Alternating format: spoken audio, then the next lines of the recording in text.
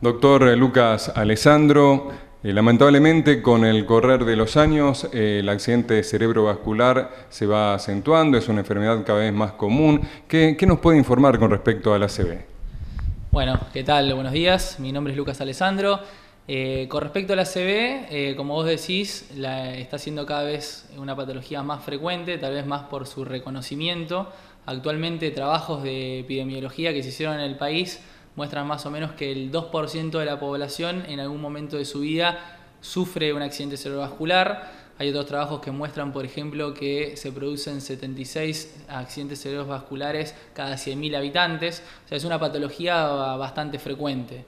Con respecto a lo que es un accidente cerebrovascular, por ahí a veces confunde un poco los términos, a veces hay gente que lo denomina de esta manera, por ejemplo, en España se lo conoce como ictus, en Estados Unidos como stroke. Acá en Argentina por ahí se usan términos más vulgares como derrame cerebral y demás, que a veces confunde un poco, pero básicamente estamos hablando de la misma constelación de patologías. En sí, un accidente cerebrovascular es un daño neurológico, un daño que, que, sucede en nuestro cerebro, secundario a algún problema en alguna parte vascular de nuestro cerebro, es decir, puede ser una arteria o puede ser una vena.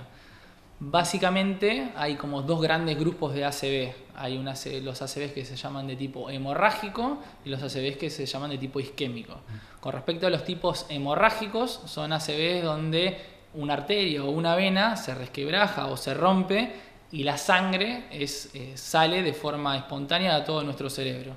Eso, por ejemplo, ¿qué ocasiona? Ocasiona un gran dolor de cabeza, un dolor de cabeza que los neurólogos llamamos cefalea en estallido, que es un dolor de cabeza que en menos de un minuto genera el peor dolor de cabeza de la vida, y además se acompaña de otro tipo de síntomas similares a los que puede tener un ACV isquémico. La causa por ahí más frecuente del ACV hemorrágico, que por ahí uh, seguramente alguien conoce, es la, la causa neurismática, son los aneurismas cerebrales. Estos aneurismas cerebrales, por ejemplo, suceden en pacientes jóvenes, eh, y habitualmente la edad de presentación es mucho más joven que el ACV de tipo isquémico. Clásicamente, cuando uno habla de ACV, habitualmente estamos más acostumbrados a hablar del ACV de tipo isquémico, que en este caso se trata de, por ejemplo, una arteria que lleva la sangre a una zona del cerebro que se ocluye, ya sea por un coagulito, un trombo o un émbolo que es desprendido desde nuestro corazón y que se impacta en las arterias de nuestro cerebro. Al obstruirse una arteria y la sangre no llegar a la zona del cerebro, aparecen los síntomas de la ACV. Entonces, en ese caso, los síntomas en general son síntomas súbitos, es decir, el paciente está bien en un, en un momento y en un breve periodo de tiempo, en una o dos horas, desarrolla una constelación de síntomas que van desde síntomas mínimos a síntomas muy muy severos. Y eso depende un poco del tamaño que tiene el ACV, no es lo mismo un ACV chiquitito, que por ahí ataca una parte muy pequeña del cerebro, a un ACV muy muy grande que afecta a diferentes tipos de áreas. Entonces vos podés tener únicamente un ACV, únicamente con una debilidad súbita solamente del brazo, pero podés tener un paciente que tiene una hemiplegia completa. Eso se ve en ACVs, por ejemplo, que afectan el lóbulo frontal. Podés tener un paciente que de repente está hablando normal y empieza a cambiar una palabra por otra o no sabe qué decir, eso se llama fascia de expresión y es un síntoma que nos localiza en el lóbulo frontal predominantemente del lado izquierdo en pacientes derechos. Podemos tener a veces ACV únicamente con falta de sensibilidad, nuestra mitad del cuerpo sin sensibilidad, por ejemplo, una hemipostesia se llama eso. O a veces un vértigo muy marcado acompañado de mucha inestabilidad, también puede ser un síntoma de ACV.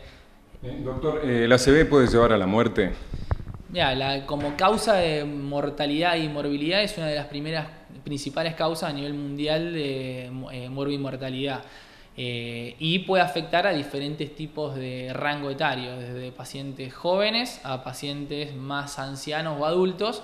En general es cierto que a medida que va aumentando la edad tiene cierto incremento a la incidencia no solamente es importante por la causa de muerte, que es una de las principales causas de muerte, o sea, por enfermedad no traumática, digamos, sino también por la cantidad de secuelas que esto puede dejar. O sea, alrededor de dos tercios de los pacientes que sufren una ACV, además de que potencialmente poder tener un fallecimiento, pueden quedar con una secuela, puede quedar permanentemente con un problema para mover un brazo, permanentemente por un problema para hablar. O sea, esa es la relevancia por ahí que tiene, el peso que tiene, digamos. El momento o el tiempo que se demore desde que se detecta la, eh, la causa eh, hasta que es visto por, por, un médico el paciente es fundamental ¿no? para la cura. Claro, como, como vos bien marcás, digamos, hay como tres, llamémosle como tres etapas o tres tipos de etapas en el tratamiento. O sea, paciente que tiene un síntoma, vamos a suponer en este momento, al siempre cuanto más precoz eh, consulte, o sea, tiene el síntoma ahora, cuanto más precoz consulte, uno puede realizar un tratamiento que se llama tratamiento agudo. El tratamiento agudo consiste en lo que se llama trombolisis. Trombolisis es una sustancia que uno coloca a través de una vena que lo que hace es que ese coagulito que el paciente tiene tratar de disolverlo. Por lo tanto, disminuyendo así la cantidad de pacientes que, o sea, la, morbilidad, la morbilidad, es decir, la cantidad de pacientes que quedan con una secuela, pero también disminuyendo la mortalidad. Eso es en un periodo agudo de tiempo. Claramente esto en nuestro país es bastante dificultoso y a medida que ha avanzado el tiempo ya cada, más, eh, cada vez más centros lo están realizando, pero en general hoy por hoy en nuestro país son centros más bien de referencia. En las grandes ciudades, Rosario, Capital Federal, Córdoba y demás provincias, pero es muy raro que se pueda hacer un tratamiento tan tan efectivo como esta trombolisis eh, en cualquier lugar. Sin embargo, de igual manera, la consulta en agudo es fundamental para la estabilización del paciente. A veces por ahí uno de los mitos es intentar bajar la presión muy, muy, muy drásticamente y muchos pacientes que tienen ACV isquémico no hemorrágico habitualmente no se benefician de bajarle tan bruscamente la presión. Por ahí suena medio paradójico, pero por ejemplo el tema de la hipertensión es algo bastante importante porque en el momento de una ACV, el corazón y nuestro cuerpo intenta compensar esta falta de irrigación cerebral aumentando la presión. Entonces, si yo bajo de forma errónea la presión, a veces en ese momento, ¿no? la hipertensión crónica, a veces puedo empeorar los síntomas. Por eso el abordaje agudo es fundamental. doctor, ¿se dan muchos casos de ACV en personas jóvenes? Más hay una definición que se llama ACV en paciente joven. Eso es un término arbitrario que uno divide a los pacientes en menos de 50 años y más de 50 años. ¿Por qué dividimos así un poco las causas? Porque se sabe que aquellos pacientes que tienen más de 50 años, las causas son las más habituales, por hipertensión crónica, por diabetes, por colesterol elevado, por obesidad, por tabaquismo. Ahora, aquellos pacientes que tienen menos de 50 años, además de las causas clásicas, hay que investigar a veces otras causas. Por ejemplo, una que por ahí está más de moda es las, trombofilias. Las trombofilias son problemas en la sangre donde la sangre se vuelve más procoagulante.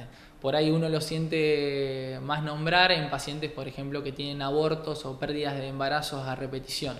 Pero las trombofilias pueden ocasionar, además de eso, infartos cardíacos, infartos cerebrales. Entonces es una de las causas que uno va a investigar en un paciente que tiene un ACV, suponete a los 30 años. Otras causas que pueden dar ACV en pacientes jóvenes son lo que llaman disecciones arteriales son lesiones en las arterias, sobre todo del cuello, que pueden ser las carótidas o las arterias vertebrales, que también pueden dar, por resquebrajarse esa arteria, desprender émbolos que vayan hacia el cerebro y ocasionar también accidentes cerebrovasculares. O sea, la respuesta sería sí, se puede haber eh, pacientes jóvenes, hasta de 30, 40, incluso más jóvenes con ACV, no es lo más típico y siempre que hay un paciente joven hay que sospechar causas un poco no tan comunes. O sea que de acuerdo al estilo de vida y de alimentación de cada persona, uno puede estar más proclive a sufrir un ACV o no. Sí, hay cosas que son digamos, no modificables que son la herencia. O sea, en las trombo, algunas trombofilias que son hereditarias, algún factor de riesgo que puede ser hereditario, eso uno no lo puede modificar. Pero claramente sí podemos tratar correctamente la presión, podemos bajar, tener una vida no tan sedentaria, hacer ejercicio, dejar de fumar. O sea, todas esas cosas que son muy modificables, sí uno puede hacer como prevención primaria. Eso se llama prevención primaria, es decir, un paciente que no ha tenido hasta ahora ningún infarto, cualquiera de nosotros que no tuvo ningún infarto y que necesita hacer una prevención.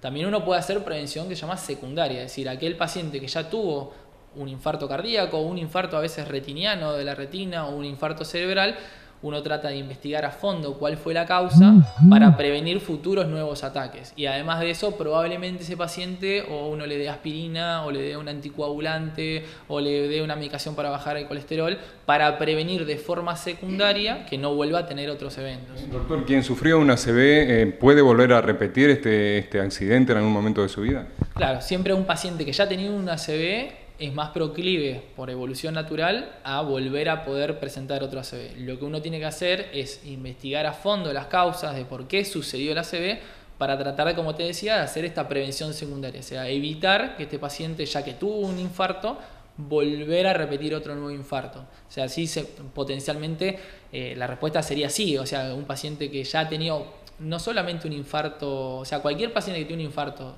o cardíaco o retiniano o a veces en las arterias de las piernas, también es más proclive a tener infartos cerebrales. O sea, las arterias del cerebro se comportan similares a las cardíacas. O sea, todo lo que sabemos gracias a todos los avances que ha hecho la cardiología. O sea, medio que los neurólogos siempre estaban un poco más retrasados, los cardiólogos siempre fueron más los pioneros en esto. Bueno, hoy por hoy sabemos que lo mismo que afecta a las arterias del corazón, afecta a las arterias del cerebro. Doctor, aquellas personas que están viendo el noticiero y deseen hacerle una consulta eh, por diferentes eh, problemáticas, eh, ¿qué día usted atiende aquí en el Centro Médico Integral y en qué horario? Bueno, yo actualmente me encuentro trabajando acá los días viernes, desde las 8 y media de la mañana hasta las 12 del mediodía. Digamos, si bien uno puede tener cierta, siempre los neurólogos tenemos ciertas subespecialidades, actualmente yo acabo consultas más de, de, todo tipo de patología a nivel neurológico, ACV, epilepsia, dolores de cabeza, vértigo, así que bueno, se pueden acercar, no hay problema.